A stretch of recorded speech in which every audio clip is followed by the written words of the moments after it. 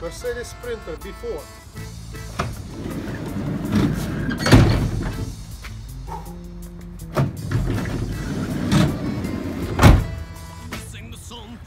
And this is already with the installed motor.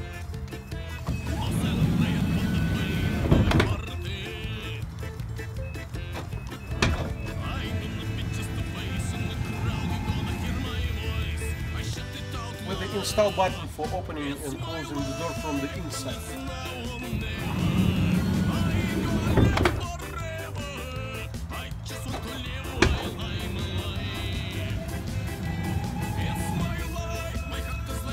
and the open and closing buttons right here from the driver's seat.